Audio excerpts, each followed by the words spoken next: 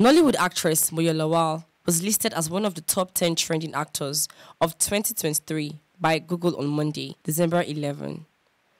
Google's 2023 year in search compiles the moments, people, topics, events, and places that captured the world's attention in the year. Moyo Lawal, who bagged the number one spot, ruled the Nigerian internet for weeks because of her leaked sex video. The video, which went viral on September 9th, caused a stir online, with many criticizing her for becoming the latest celebrity with a leaked tape out in the public. Moyo, who appeared seemingly unbothered at that time, took to her Instagram page to talk about her talent.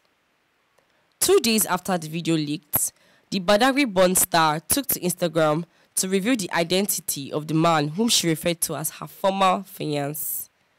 She also threatened to take legal action against whoever released the video without her consent.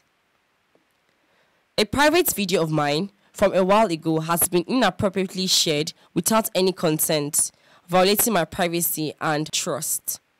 I want to emphasize that this video was done with my ex, whom I was to marry at that time, was never intended for public consumption, and its unauthorized distribution is a breach of my boundaries. However, this criminal breach of privacy will be treated with legal action, she said.